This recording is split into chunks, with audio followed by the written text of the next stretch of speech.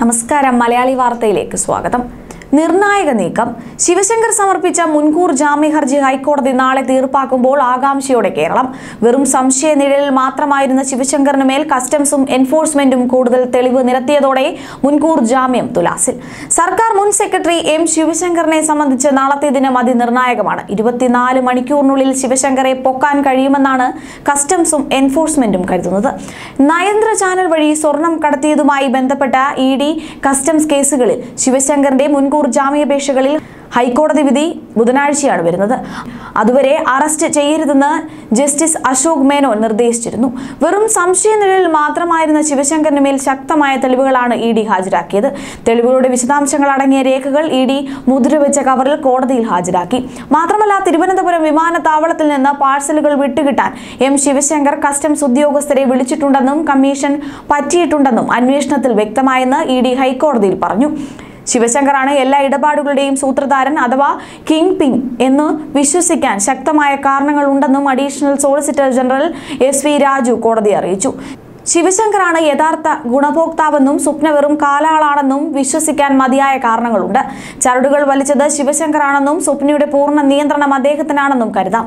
ഈ സാധ്യതയാണ് അന്വേഷിക്കുന്നത്.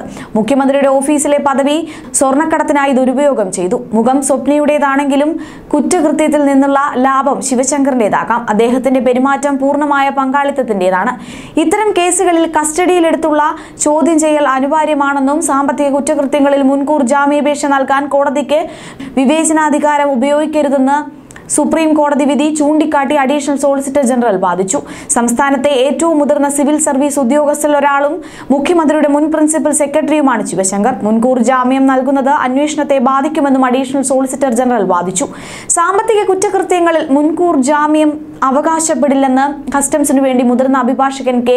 രാംകുമാർ ചൂണ്ടിക്കാട്ടി. മുഖ്യപ്രതിയായ സ്വപ്നയുടെ എല്ലാ പ്രവൃത്തികളെക്കുറിച്ചും ശിവശങ്കറിന് അറിവുണ്ടായിരുന്നെന്നും അദ്ദേഹം അന്വേഷണത്തോട് സഹകരിക്കുന്നില്ലെന്നും ചോദ്യങ്ങളിൽ നിന്ന് ഒഴിഞ്ഞു മാറുകയാണെന്നും അന്വേഷണ ഏജൻസികൾ കോടതി അറിയിച്ചു.